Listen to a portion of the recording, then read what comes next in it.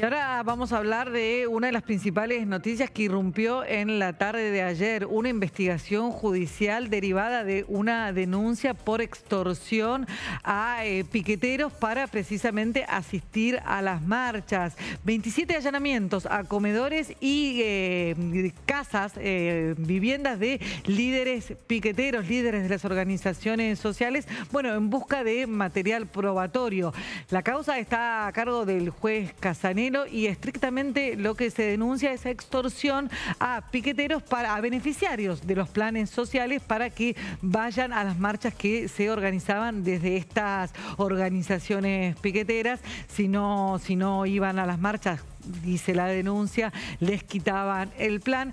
El fiscal es policita, aportó chats que probarían esta, esta situación. La investigación recién empieza, se basa por el momento en 12 denuncias. Está obviamente el gobierno eh, muy atento a esta cuestión, porque además esta, esta investigación, la noticia de esta investigación se superpuso con otra denuncia del Ministerio de Capital Humano que tiene que ver con el funcionamiento de los comedores escolares. Según la denuncia, del Ministerio que dirige Sandra Petovelo, más de la mitad de los eh, comedores que eh, estaban registrados y que recibían comida y que recibían asistencia no existían. Esa es la denuncia, con lo cual hay todo un manto ahora de, de sospecha, esa es la definición, hay todo un manto de sospecha sobre la política y la administración de la política social durante los últimos años. Eh, obviamente una de las personas más eh, afectadas por esta denuncia es Eduardo Beliboni, él es el líder piquetero del Polo Obrero, una de las tres organizaciones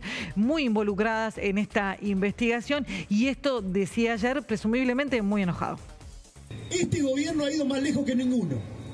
Ha querido no solo sacarle la comida a la población trabajadora, sino además destruir las organizaciones populares.